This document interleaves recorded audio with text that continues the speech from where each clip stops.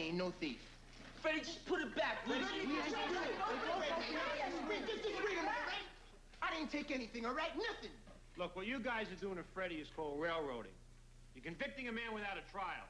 In this country, you're innocent until you're proven guilty, okay? Now, if you want to have a trial, we'll have one tomorrow. All right, we'll have a trial. Then we'll convict them.